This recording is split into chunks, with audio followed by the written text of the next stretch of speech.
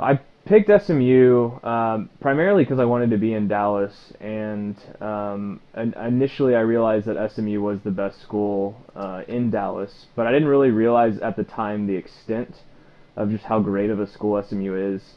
Um, I, as I did research on the school, it really um, occurred to me that SMU just owns Dallas. We do so well here as far as employment and um, putting students in internships and externships.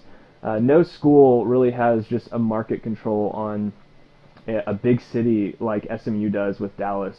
Um, and so it was just clear to me that uh, if I wanted to be in Dallas, SMU was the place to go. So evidence was my favorite class, and part of the reason was it was such a fun class to be a part of because the way that we set up classes was that we would set up um, kind of a mini trial every single day in class, and he would pull a few students up to the front, and we would both have to argue different sides of um, an objection. And really, there was no other class so far that really just got students involved um, and it was really active and had people participate every day. And so it was it was just really a fun class to take. The one piece of advice that I would give um, a student going into law school is to take advantage of their advocacy program. There's opportunities for anything that a person could be interested in, whether it's negotiations or mock trial or moot court. Um, just take advantage of those because they're so invaluable and they build such good experience uh, for when you actually leave law school and enter uh, your practical experience of law. I'm Travis Jones. I'm a 3L at SMU.